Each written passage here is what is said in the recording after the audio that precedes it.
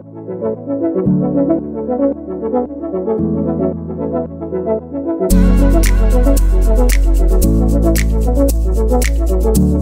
chose to use the hologram for this event because it's incredibly engaging. It's exciting. The 3D characters, the 3D letters, the visuals of this hologram in particular really come out at the audience.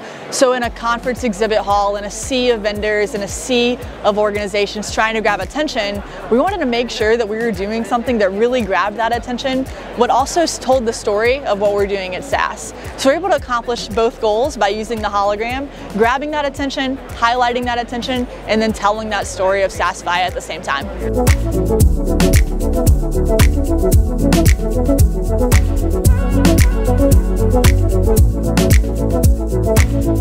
Exhibit attendees absolutely are loving the hologram. It's different. It's something that they don't see every day. It's something that feels like it's out of Hollywood too. So seeing this type of technology on a conference floor, at an industry event, it's new, it's attention grabbing, and they love it. People want to know all about it, they want to know the story behind it, and they definitely want to know who's producing it. And I think a lot of people are going to be interested in figuring out how they can have a hologram at their events in the future as well. Experience with HYPERVSN has been fantastic. If we at SAS had to describe it in just three words, we would say it's customized, engaging, and innovative.